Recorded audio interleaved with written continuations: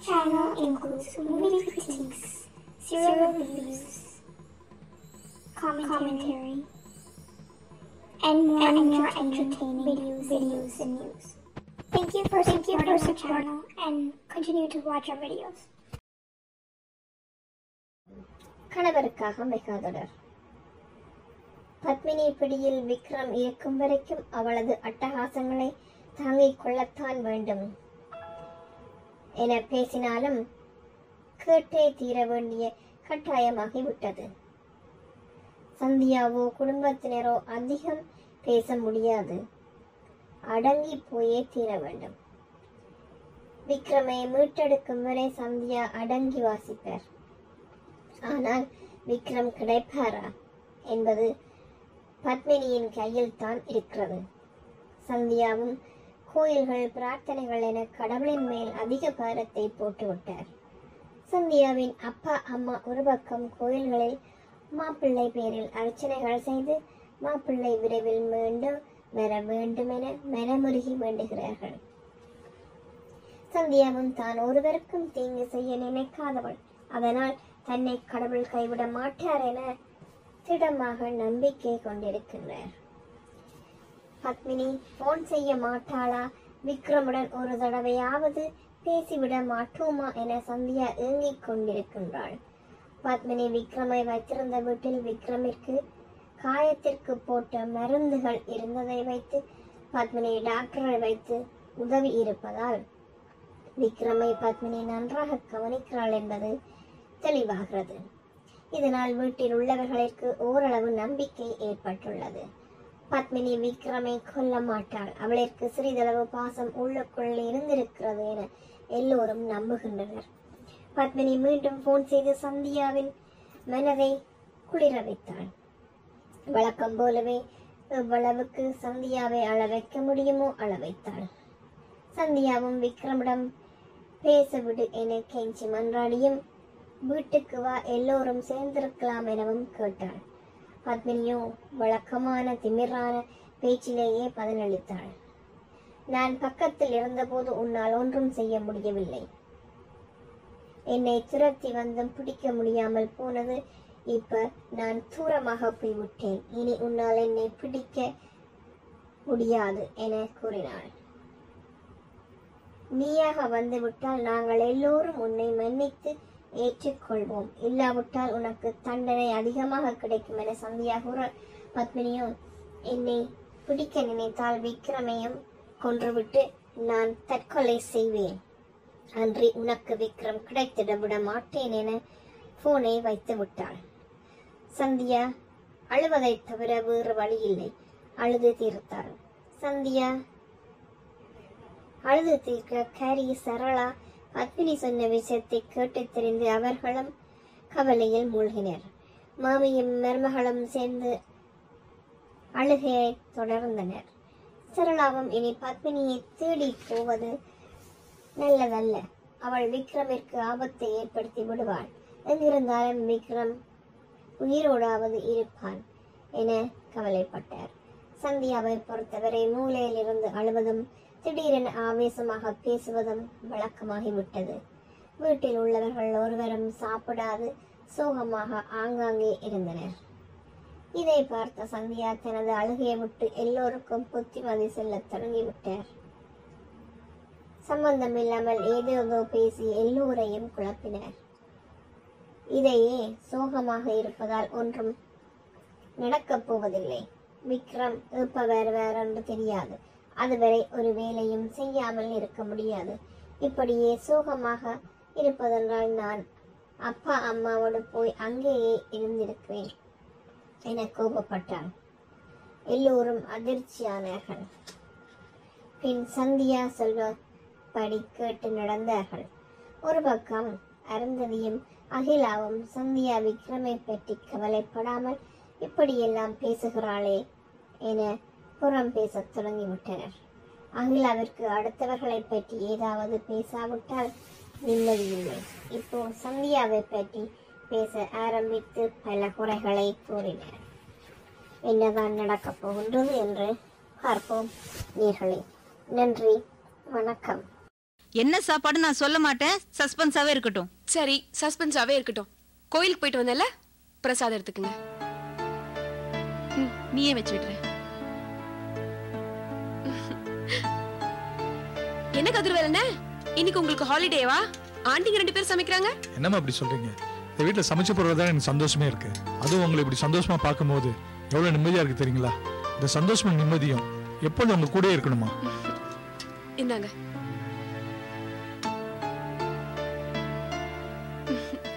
சம்மத்து குட்டில மாமா?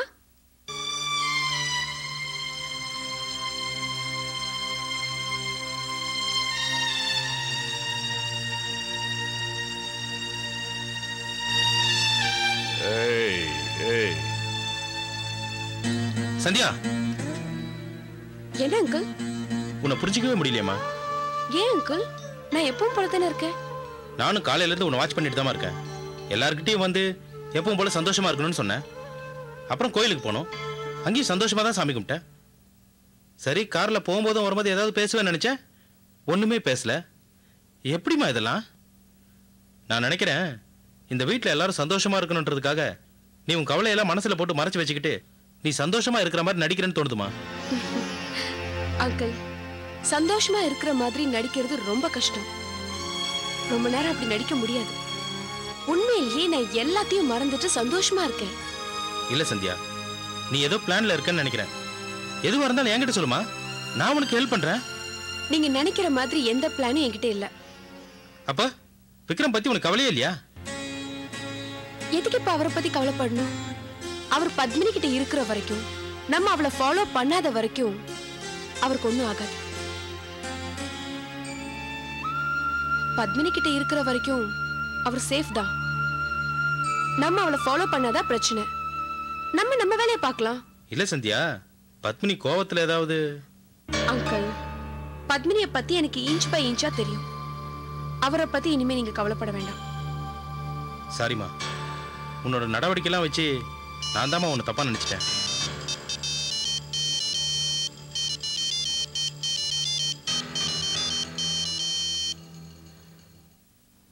ஹலோ.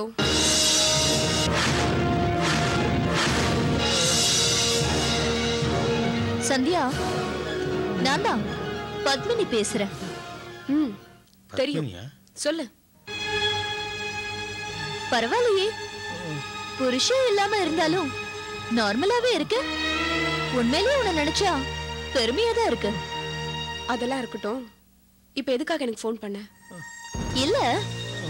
என்ன ஃபாலோ பண்றத விட்டுட்டு எல்லாரையும் சந்தோஷமா இருங்கன்னு சொன்னியாமே. நீ இப்படி சொன்னேங்கிறத நினைச்சா உன் மேல எனக்கு சந்தேகமா இருக்கு. புலி பதுங்கிறது பாயறதுக்கு தானான்னு பத்மினி நீ நினைக்கிற சந்தியாலாம் எப்போ செத்து போயிட்டா. கணவனே கண் கண்ட தெய்வம் நினைக்கிறதெல்லாம் அவர் எனக்கு மட்டும் சொந்தமா இருக்கிற வரைக்கும். அவர் தான் உனக்கும் சொந்தமாச்சே? அவருக்கு ஏதாவது ஒண்ணுனா உனக்கும் எனக்கும் தான் பாதிப்பு. அது மட்டும் இல்லாம எனக்கு இப்ப முக்கியமான ஒரு வேலை இருக்கு. என் பையனை வளர்த்து படிக்க வச்சு பெரிய ஆளாக்கணும்.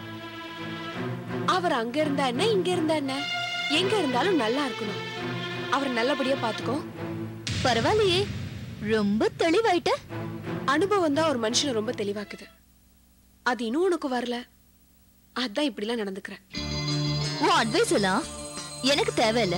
நான் சொல்றத நீ கேட்டுக்கோ. இனிமே விக்ரம என்கிட்ட இருந்து நீ இல்ல. உன்னை படிச்ச கடவுளே வந்தாலும் பிரிக்க முடியாது. அப்படி பிரிக்கணும்னு நினைச்ச அவரை பொணமாதான் உனக்கு கிடைப்பாரு. நான் அவரோட வெளிநாட்டுல செட்டில் ஆக போறேன். நாங்க ரெண்டு பேரும் சுதந்திரமா வாழ போறோம். அவர் நினைவோட என்னால வாழ முடியும் பத்மினி. நீயே காலம் பூரா அவர் கூட சேர்ந்து வாழ.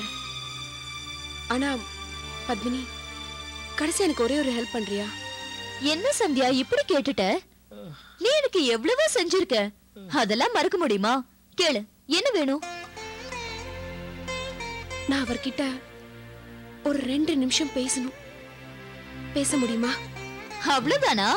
நான் கூட என்னமோ பெருசா கேட்க போறேன்னு நினைச்சேன். உன் புருஷனையே எனக்கு விட்டு கொடுத்துட்ட. அவர் கூட பேசுறதுக்கா நான் தடை போடுவேன். தாராளமா பேசு. இந்தா. என்னங்க?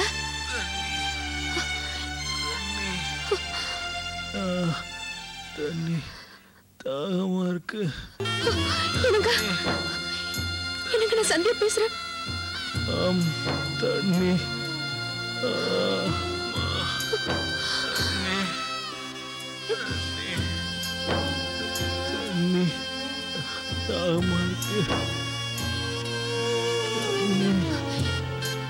என்னங்க?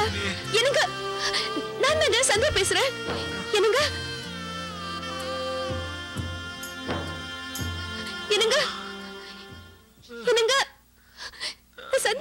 சந்தியா பேசுறேங்க. சந்தியா?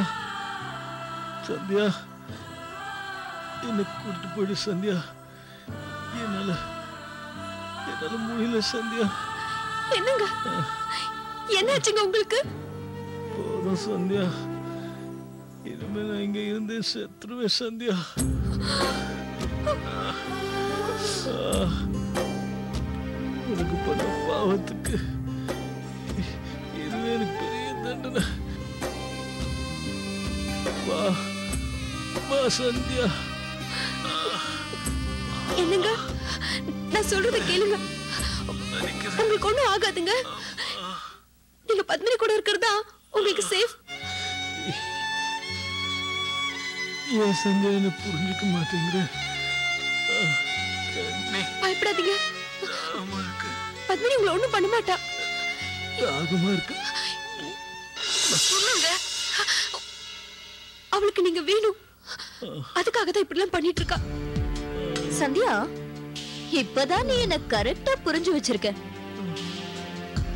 உண்மையிலேயே நீ விக்ரம் மேல பாசம் உள்ளவதான்.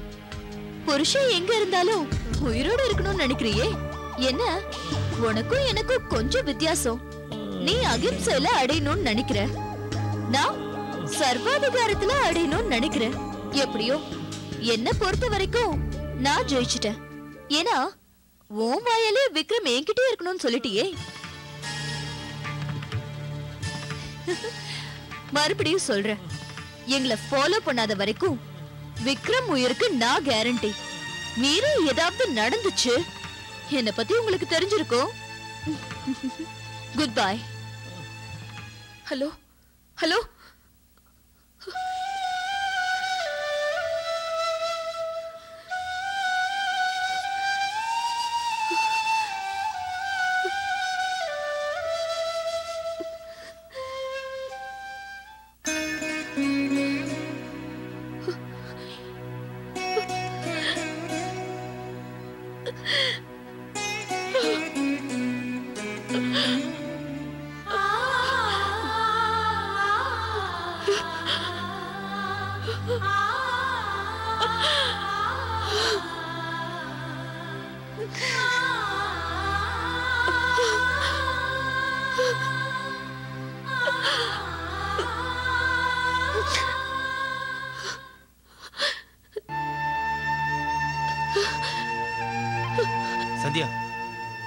ஆச்சு அங்கிள் நாம பத்மினி மன்னிக்க கூடாது அங்கிள்.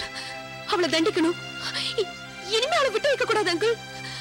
விட்டு வைக்க கூடாது என்னம்மா சொல்ற? நீ தானம்மா பத்மினி மேல எந்த ஆக்ஷன் எடுக்க வேண்டாம்? அவளை தேடுறதுக்கு எந்த முயற்சியும் பண்ண வேண்டாம்னு சொன்ன? பத்மினி கூட விக்ரம் இருக்கட்டும்னு சொன்ன? இப்ப இப்படி மாத்தி பேசுற? ஆமா அங்கிள். நான் சொன்னது உண்மைதான். அவர்கிட்ட கூட நீங்க அங்கே இருங்க. அதான் உங்களுக்கு நல்லதுன்னு சொன்னேன். அதெல்லாம் பத்மினி மனசு குளிர வைக்கிறதுக்காக சொன்னேன்.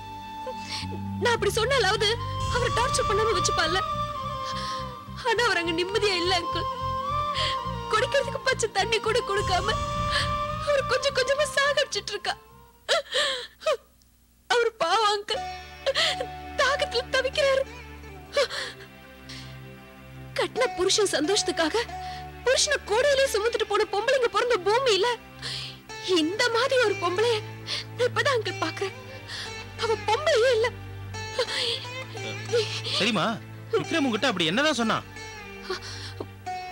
முழுசா பேசுற மனநிலையில அவர் இல்ல அங்கிள் பாவம். ரொம்ப டார்ச்சர் அனுபவிச்சிட்டார் போல இருக்கு. என்னை எப்படியாவது கூட்டிட்டு போன்னு கெஞ்சுறாரு. என் புருஷனை நான் எவ்வளவு உயரத்துல வச்சு பார்த்தேன். இப்படி கெஞ்ச வச்சுட்டா பாவி. பத்மினி பத்மினி அவ பின்னாடியே போனாரு. இப்ப அந்த சொர்க்கம் தான் அவருக்கு நரகமா மாறிடுச்சு. அங்கிள் அவருக்கு எந்த கெடுதலும் நடந்துடக்கூடாது எந்த கஷ்டமும் வரக்கூடாதுன்னு தான் அவர் தேட வேண்டாம்னு சொன்னேன். அவராவது அங்க சந்தோஷமா இருக்கட்டும். எனக்கு அவர் கிடைக்கலனாலும் பரவாயில்ல அவ கூட இருக்கட்டும்னு நினைச்சேன். ஆனா பத்மினி அதை அட்வான்டேஜ் எடுத்துக்கிட்டா. இவரை நம்ம என்ன டார்ச்சர் பண்ணாலும் கேட்கறதுக்கு ஆள் இல்லைன்னு நினைச்சிட்டா போல இருக்கு. அதான் இப்ப யோசிச்சு பார்த்தேன். நான் இப்படி பெருந்தன்மை விட்டு கொடுத்தத பத்மினியோட ஏமாளித்தனமா நினைச்சுக்கிட்டா. அவருக்காக நான் பொறுமையா இருக்கணும்னு நினைச்சேன். இப்ப அவருக்கே அவருக்கே ஒரு ஆபத்து வந்தா நான் ஏன் பொறுமையா இருக்கணும்? இத்தனை நாள் புருஷனுக்காக பொறுமையா இருந்த சந்தியாவுக்கும் இப்ப பொறுமையா இருந்த சந்தியாவுக்கும் என்ன வித்தியாசம்னு பத்மினி பார்க்க போறா. சரி இப்போ என்னதான் பண்ண போற சந்தியா? நாளைக்கு போலீஸ் கமிஷனரை பார்த்து பேச போறேன். பத்மினியை பத்தி சொல்லி அவன் மேல கடுமையா ஆக்ஷன் எடுக்க சொல்ல போறேன்.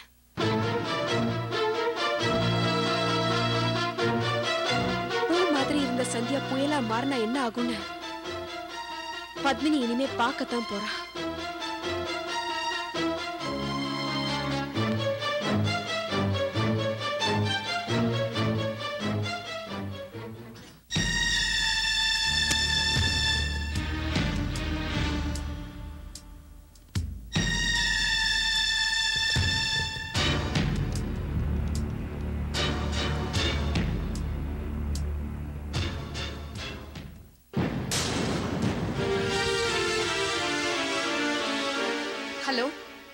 கமிஷனர் ஆபீஸ் நான் பிசினஸ் மேன் நாராயணன் சாரோட மருமக பேசுறேன்.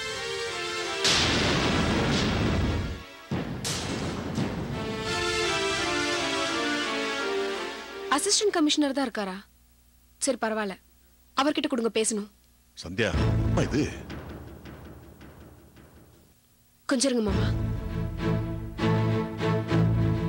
ஹலோ வணக்கம் சார். ஆமா சார். நான் நாராயண் சாரோட மருமக சந்தியா பேசுறேன். எனக்கு ஒரு கம்ப்ளைண்ட் கொடுக்கணும். என் புருஷனை ஒரு பொம்பளை கடத்திட்டு போய் நாலஞ்சு நாளா ஒளிச்சு வச்சிருக்கா. நீங்க தான் சார் எப்படியாவது அவரை மீட்டு கொடுக்கணும். அவ பேர் பத்மினி.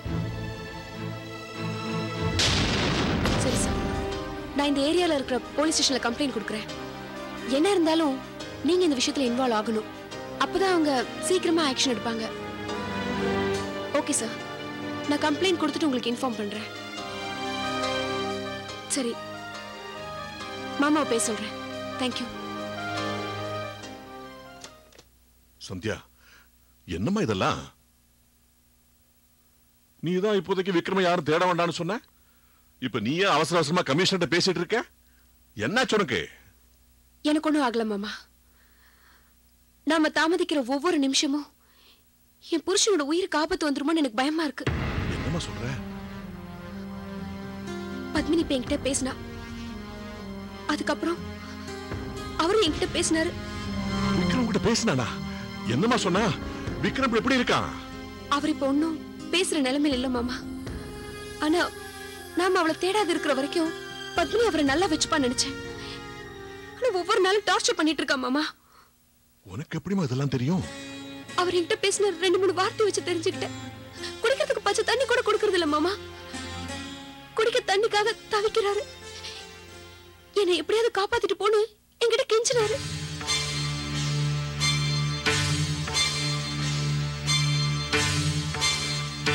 அகிலா பத்மினிக்கு பைத்தியம் பிடிச்சிருச்சு போல இருக்கு. அக்கா அவளுக்கு பைத்தியம் பிடிக்கல. அழிவு காலம் நெருங்கிடுச்சு. அதான் விக்ரம பிடிச்சி இப்படி டார்ச்சர் பண்றா. இனிமே நம்ம பொறுமையா இருந்து பிரயோஜனம் இல்ல மாமா. அதான். அவளை தேட வேண்டாம்னு சொன்ன நானே இப்ப பத்மினி மேல கம்ப்ளைண்ட் கொடுக்கறதுன்னு முடிவு பண்ணிட்டேன். என்னம்மா இது? விக்ரமோட வாழ நினைச்சா வாழ்ந்துட்டு போக வேண்டியதுதானே? அதை மட்டும் ஏன் இப்படி டார்ச்சர் பண்ணிட்டு இருக்கா? அகிலாட்டி சொன்ன மாதிரி அவளுக்கு அழிவு காலம் ஆரம்பிச்சிடுச்சு மாமா. அதான் இப்படிலாம் ஆடுறா.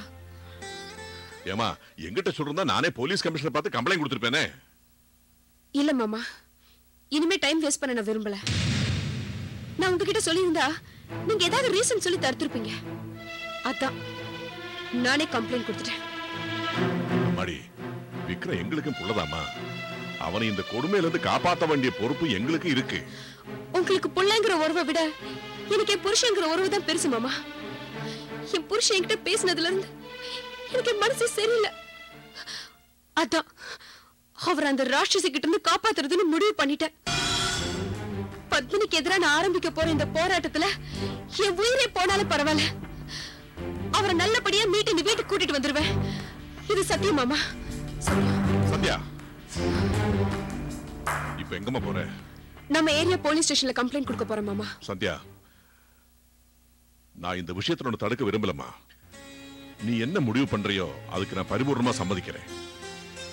எங்க பிள்ளைய மீட்டணும்னு நாங்க காட்டுற அக்கறையை விட புருஷனை மீட்டணும்னு நீ காட்டுற அக்கறை அதிகமாவே இருக்கு. கொஞ்சம் இருமா. வெங்கட் இப்போ வந்துருவான். அவனுக்கு இந்த ஏரியா இன்ஸ்பெக்டரை ரொம்ப நல்லாவே தெரியும். கூட அவனையும் கூட்டிட்டு போவான்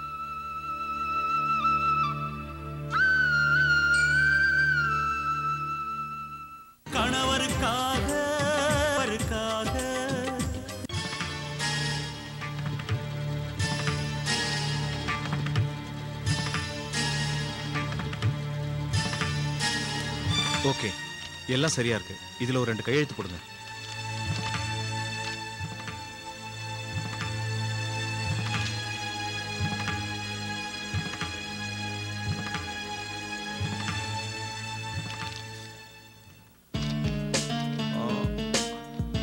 ஓகே. நீங்க கொடுத்த கம்ப்ளைண்ட் படி உடனடியாக ஆக்ஷன் எடுத்துடுறேன். இது சம்பந்தமா கமிஷனர் ஆபீஸ்ல இருந்து ஏற்கனவே எங்களுக்கு இன்ஃபர்மேஷன் வந்துருச்சு. அசிஸ்டன்ட் கமிஷனரை ஸ்பெஷல் கேர் எடுக்க சொல்லி என்கிட்ட சொல்லியிருக்காரு. நான் கண்டிப்பா எடுக்கிறேன். சார் எவ்வளவு சீக்கிரம் முடியுமோ அவ்வளவு சீக்கிரத்துல விக்ரம கண்டுபிடிச்சு கொடுத்துட்டீங்கன்னா எங்களுக்கு ரொம்ப சந்தோஷமா இருக்கும். நீங்க ஒன்றும் கவலைப்படாதீங்க சார். இதுக்காகவே ஸ்பெஷல் டீம் ஒன்று ஏற்பாடு பண்ணியிருக்கோம். சென்னை முழுக்க போலீசார் வலை வீசி தேடிக்கிட்டு இருக்காங்க. எப்படியும் சீக்கிரம் கண்டுபிடிச்சிருவோம். ரொம்ப நன்றி இன்ஸ்பெக்டர். சார் இது என்ன சார் பெரிய விஷயம்? பெரிய பெரிய தீவிரவாதிகளையே ஈஸியா கண்டுபிடிச்சிடுறோம். இது ஒரு சாதாரண விஷயம். நீங்க ஒன்றும் கவலைப்படாதீங்க. இல்ல இன்ஸ்பெக்டர். தீவிரவாதிகளுக்காவது கொஞ்சம் இறக்கம் இருக்கும். ஆனா இவளுக்கு ஈவு இறக்கம் மனசாட்சி எதுவுமே இல்ல. என் புருஷன் எப்படியாவது கண்டுபிடிச்சு கொடுத்துருங்க. அது போதும். டோன்ட் வரி மேடம் எப்படியும் கண்டுபிடிச்சிருவோம். கண்டுபிடிச்ச உடனே உங்களுக்கு இன்ஃபார்ம் பண்றேன். ஓகே சார் வாமா தேங்க்யூ இன்ஸ்பெக்டர் வரேன் சார் ஓகே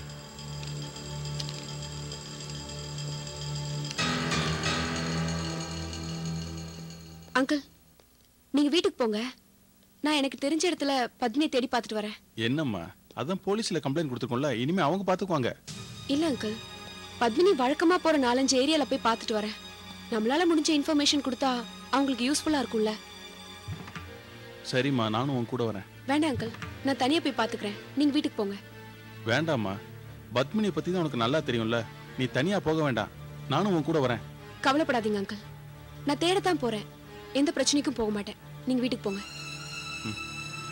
சரிம்மா நீ கார் எடுத்துட்டு போ நான் ஆட்டோல போய்க்கிறேன். வேண்டாம் அங்கிள் தேடி பார்க்கிறதுக்கு ஆட்டோ தான் வசதி. நீங்க கார் எடுத்துட்டு போங்க.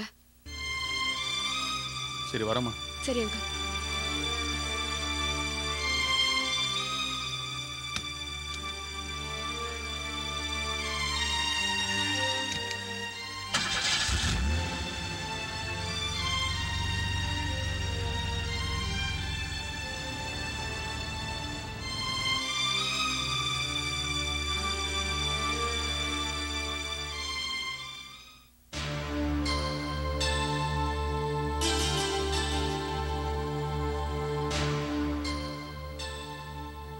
சரளா எங்க போயிருக்கா? கோயிலுக்கு போயிருக்காங்க. சாப்பிட்றதுக்கு முன்னால் மாத்திரை சாப்பிடணுமா? இந்தாங்க இந்த மாத்திரையை போட்டுக்குங்க. இன்னைக்கு ஒரு நாளாவது மாத்திரை எல்லாம் சாப்பிட வேண்டாம்னு பார்த்தேன். சொல்லிட்டு போயிட்டாளா? ஆமாங்க ஐயா சரி குடு.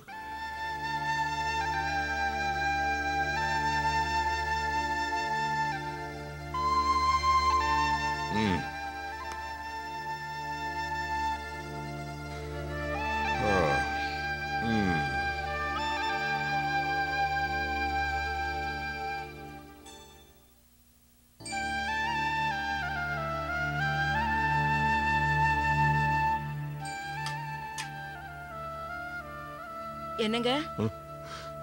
மாத்திரை போட்டுட்டீங்களா? இப்பதான் சாப்பிட்டேன். நீங்களா சாப்பிட்டீங்களா? இல்ல கதிர்வேல் கொடுத்தானா? இன்னைக்கு ஒரு நாளாவது மாத்திரையும் மண்ணாங்கட்டி எல்லாம் வேண்டாம்னு நினைச்சேன். நீ தான் சொல்லிட்டு போயிட்டியே. கதிரவேல் கொடுத்தான். சாப்பிட்டேன். சந்தியா? சந்தியா? அவ எங்க வீட்டுல இருக்கா? எங்க போயிட்டா? அவளும் வெங்கட்டும் போலீஸ் ஸ்டேஷன் வரைக்கும் போயிருக்காங்க. போலீஸ் ஸ்டேஷனுக்கா? எதுக்குங்க? பத்மினி மேல கம்ப்ளைண்ட் கொடுக்கறதுக்கு. கம்ப்ளைண்டா? பத்மினி சந்தியா கிட்ட ஏதோ போன் போட்டு பேசினாலாம் விக்ரம் கூட பேசினானாமே. என்ன? விக்ரம் ஃபோன் பண்ணானா? என்ன சொன்னா? எப்படி இருக்கா? இல்லக்கா. விக்ரம பத்மினி ரொம்ப கொடுமைப்படுத்துறா போல இருக்கு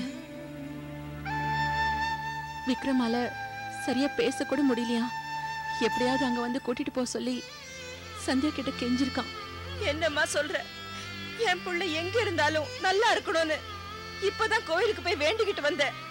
அதுக்குள்ள இப்படி ஒரு விஷயத்த சொல்றியே. கொஞ்ச நேரம் முன்னாடி வரைக்கும் பத்மினி மேல எந்த நடவடிக்கையும் எடுக்க வேண்டாம்னு சொல்லிட்டு இருந்த சந்தியாவே இப்ப மனசு மாறி போலீஸ் ஸ்டேஷன் போயிருக்கா. அந்த அளவுக்கு பத்மினி விக்ரம டார்ச்சர் பண்ணிருக்கா சந்தியா கூட போலீஸ் ஸ்டேஷன் போய் கம்ப்ளைண்ட் கொடுக்கறது நல்லதுதான்க்கா. அப்படியாவது இந்த பிரச்சனைக்கு ஒரு முடிவு வரும் இல்லக்கா. கம்ப்ளைண்ட் தரத பத்தி ஒண்ணு இல்லம்மா. ஏற்கனவே பத்மினி விக்ரம கொடுமைப்படுத்திக்கிட்டு இருக்கா. இப்ப சந்தியா வேற கம்ப்ளைண்ட் கொடுத்திருக்கான்னு தெரிஞ்சா விக்ரம என்ன பண்ணுவான்னு தெரியலையே. அத நினைச்சுதான் நான் பயந்துகிட்டு இருக்கேன். விக்ரம் எங்க இருந்தாலும் நல்லா இருக்கணும் தானே. சந்தியா பத்மினி மேல ஆக்ஷன் எடுக்க வேண்டாம்னு சொன்னா. அக்கா நல்லா இருக்கணும்னு நினைச்சுதான் அப்படி சொன்னா. ஆனா விக்ரம் நிம்மதியா இல்லைன்னு தெரிஞ்சதுக்கு அப்புறம் இனிமே பொறுமையா இருந்து பயனில்லைன்னு நேரடியா இறங்கிட்டா. சந்தியாவே போலீஸ்ல போய் கம்ப்ளைண்ட் பண்றதுல தப்பே இல்லக்கா. என்னம்மா இது? விக்ரம் என்கிட்ட பேசியிருந்தா கூட நான் என்ன ஏதுன்னு தெளிவா விசாரிச்சிருப்பேனே. விக்ரமால பேச கூட முடியலையாக்கா பத்மினி விக்ரம்க்கு குடிக்க தண்ணி கூட குடுக்கறது இல்ல போல இருக்கு. அதான் சந்தியா ரொம்ப டென்ஷன் ஆயிட்டா. படுபாவி ஏன் இப்படி எல்லாம் பண்றா? நான் அவளுக்கு என்ன குறை வச்சேன்? என் புள்ள ஒருவேளை சாப்பிடலன்னா கூட என் மனசு தாங்காது. குடிக்க தண்ணி கூட கொடுக்காம வச்சிருக்காளா? அவன் நல்லாவே இருக்க மாட்டா. சரளா நீ என்னதான் துடிச்சாலும் நடக்கிறது நடக்கத்தான் செய்யும். பத்மினி எந்த நேரத்துல இந்த வீட்டுல கால் எடுத்து வச்சாலோ அப்பவே இந்த வீட்டுல நிம்மதி போயிடுச்சு. நீங்க எல்லாம் சேர்ந்து தானே பத்மினி இந்த வீட்டுக்கு கொண்டாந்தீங்க? இப்ப அனுபவிங்க.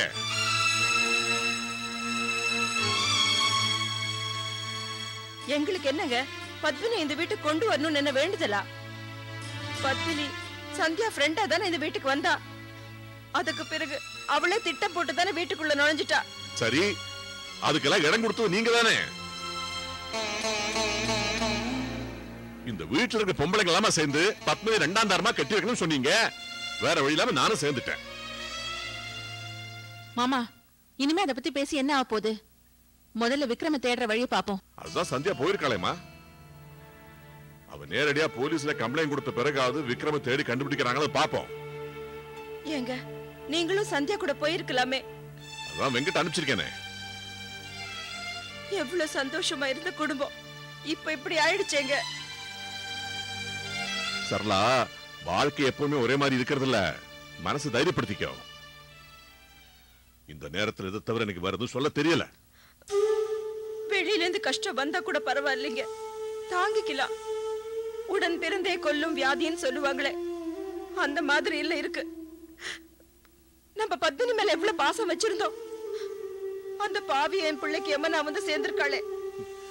பாசம் வைக்கிறது பார்த்து வைக்கணுமா நம்ம அன்பு வைக்கிறதுக்கு இவங்களுக்கு தகுதி இருக்கான்னு பார்த்து வச்சிருக்கணும். இல்லைன்னா இப்படிதான் அழுதுகிட்டு இருக்கணும். பாப்போம். இனி எவ்வளவு நான் தான் இப்படியே போயிட்டு இருக்குன்னு பாப்போம்.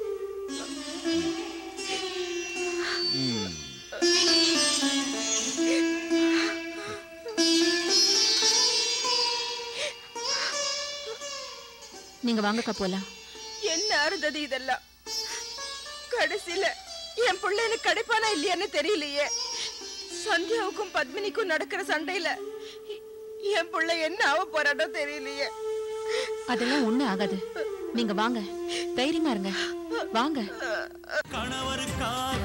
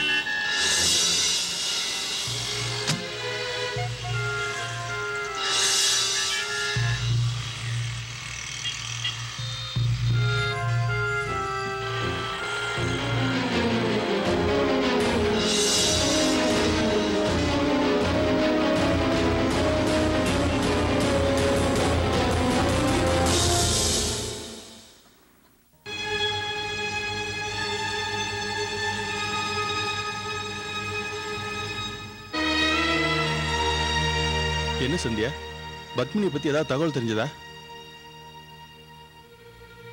அவ இப்போ போரூர் பக்கத்துல எங்கேயோ தான் இருக்கா அங்கிள் ஏன்னா அவள மாதிரி ஒரு பொண்ணு ஆட்டோல ஏறி போறத நான் பார்த்தேன். நான் ஃபாலோ பண்ணி பிடிக்கிறதுக்குள்ள அந்த ஆட்டோ மறைஞ்சிடுச்சு அப்படியா? அப்ப போலீஸ்க்கு உடனே இன்ஃபார்ம் பண்ணிருக்கலாமே? நான் அப்பவே இன்ஸ்பெக்டருக்கு இன்ஃபார்ம் பண்ணிட்டேன். அவரும் அந்த ஏரியால தேடுறதுக்கு ஏற்பாடு பண்றேன்னாரு. போலீஸ் இப்பதான் நம்மளை விட ரொம்ப தீவிரமா தேட ஆரம்பிச்சிருக்காங்க. கொஞ்ச நேரத்துக்கு முன்னாடி தான் இன்ஸ்பெக்டர் என்கிட்ட ஃபோன் பண்ணி பத்மினி பத்தின சில விவரங்கள்லாம் என்கிட்ட கேட்டாரு. நானும் எல்லாம் சொல்லிட்டேன்.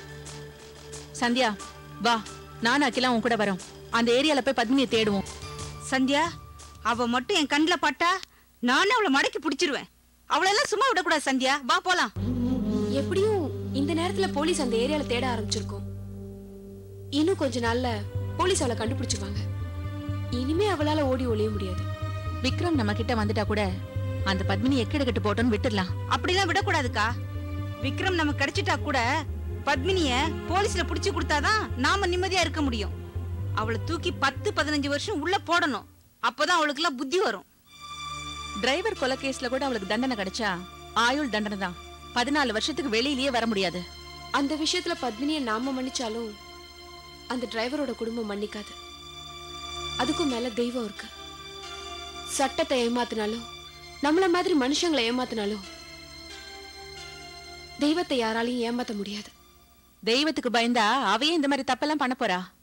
அவளுக்கு யார் மேலயும் பயமே இல்ல. பத்மினி நினைச்சிருந்தா இந்த வீட்ல சந்தோஷமா வாழ்ந்திருக்கலாம். அவளுக்காக நான் எதை எதையெல்லாம் விட்டு கொடுத்தேன்? நம்ம எல்லாரோட பாசம் அவளுக்கு புரியாம போச்சு. சந்தியா பத்மினி பிறப்பிலேயே கெட்டவ. நீ என்னமோ பெருசா நினைச்சு இந்த வீட்டுக்கு கூட்டிட்டு வந்த. விக்ரமுக்கு வேற கல்யாணம் பண்ணி வச்ச. என்ன இருந்தாலும் உன் மேலயும் தப்பு இருக்கு. நான் எல்லாரையும் நல்லவங்கன்னு நினைச்சேன். ஆனா நீ என்ன அப்படி நினைக்கலையே? ஆரம்பத்துல இருந்தே நீ என்ன நம்பவே இல்ல. பத்மினி நடத்தல நான் அப்ப இருந்த பாத்துட்டு இருந்தேன். நான் உன்னை ஜாகிரதையா இருந்து சொல்லிக்கிட்டே இருந்தேன். நீ என் பேச்ச மதிக்கவே இல்லையே. நல்லா பழகுன ஒருத்தரை எப்படி ஆண்டி சந்தேகப்பட முடியும்? இனிமேலாவது கொஞ்சம் சந்தேகப்படவும் தெரிஞ்சுக்க. வெளுத்ததெல்லாம் பால் நினைச்சதெல்லாம் மலையேறி போச்சு. இப்பெல்லாம் எல்லாம் கணவருக்காக. கணவருக்காக சன் தொலைக்காட்சியில் நடிக்கும் கலைஞர்கள் Sujitha K Srinivas Rajesh Sulakshana Rajasekar Annapoorna A C Murali Chitra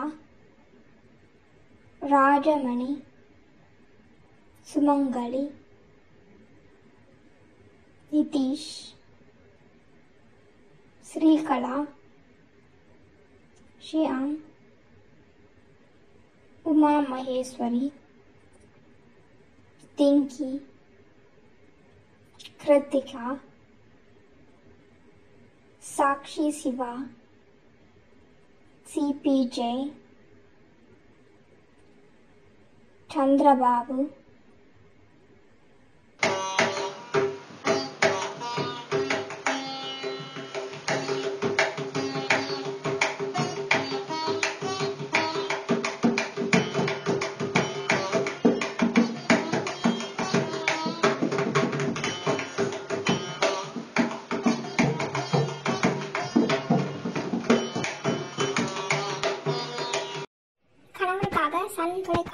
நடிக்கும் கலைஞர்கள். Sujitha K. Srinivas Rajesh Sulakshana Rajasekar Annapoorna A C Murali Chitra Rajamani Sumangali Nitish. Srikala Shyam Uma Maheshwari Tinky Kritika Sakshi Shiva C P Jai Chandrababu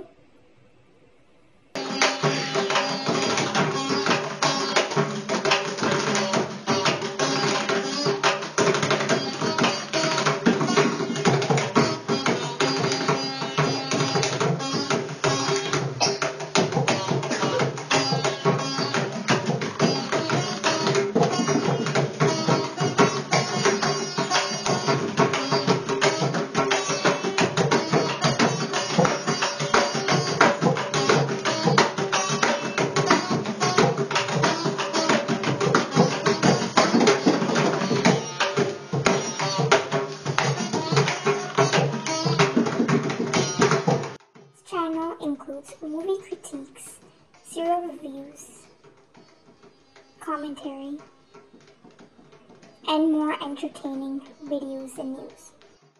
Thank you for supporting our channel and continue to watch our videos.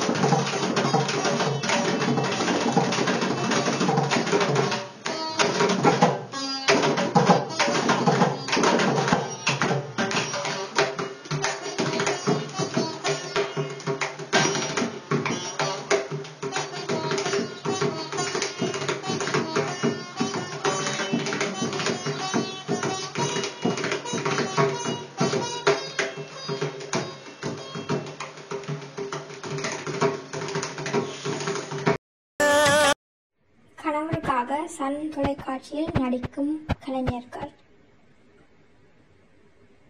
Sujitha K. Srinivas Rajesh Sulakshana Rajasekhar Annapurna AC Murali Chitra Rajamani Sumangali Nitish Srikala Shyam Uma Maheshwari Pinky Krithika Sakshi Shiva CPJ Chandrababu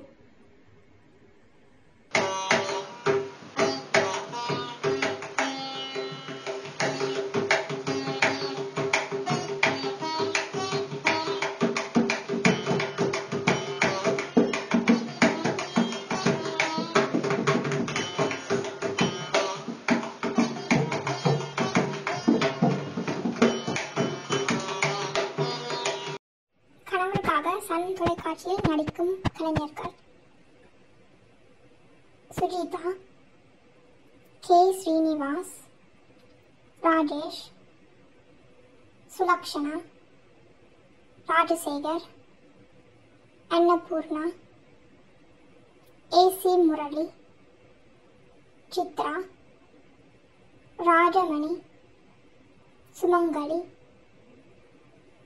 Nitish Srikala Shyam Uma Maheshwari Pinky Krithika Sakshi Shiva CPJ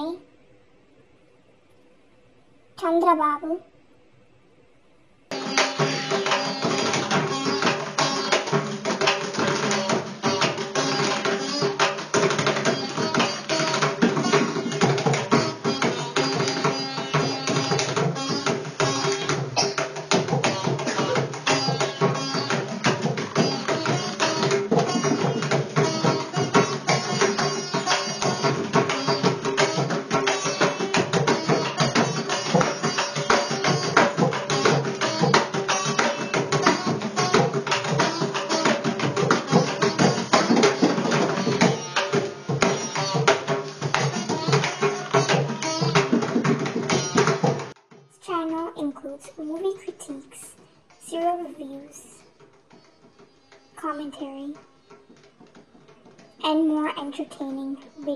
news. Thank you for supporting our channel and continue to watch our videos.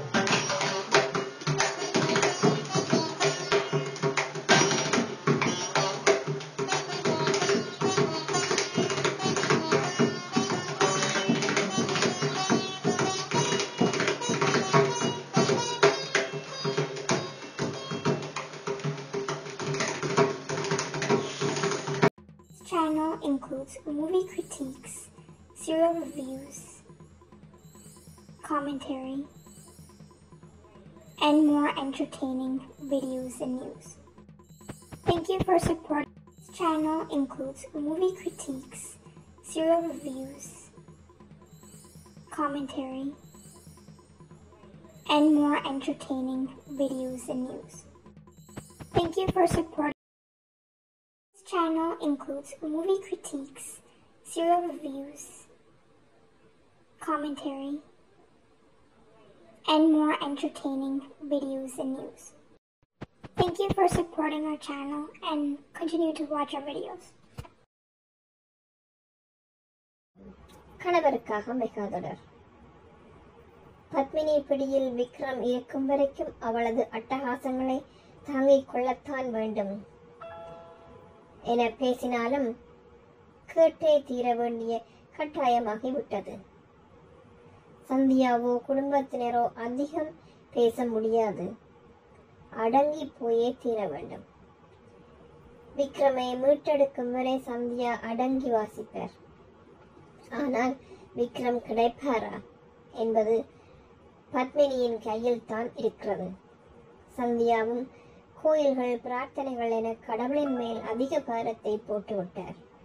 சந்தியாவின் அப்பா அம்மா ஒரு பக்கம் கோயில்களில் மாப்பிள்ளை பேரில் அர்ச்சனைகள் செய்து மாப்பிள்ளை விரைவில் மீண்டும் வர வேண்டும் என மனமுருகி வேண்டுகிறார்கள். சந்தியாவும் தான் ஒருவருக்கும் தீங்கு செய்ய நினைக்காதவள். அதனால் தன்னை கடவுள் கைவிட மாட்டார் என திடமாக நம்பிக்கை கொண்டிருக்கின்றார். பத்மினி போன் செய்ய மாட்டாளா? விக்ரமுடன் ஒரு தடவையாவது பேசிவிட மாட்டோமா என சந்தியா ஏங்கிக் கொண்டிருக்கின்றாள்.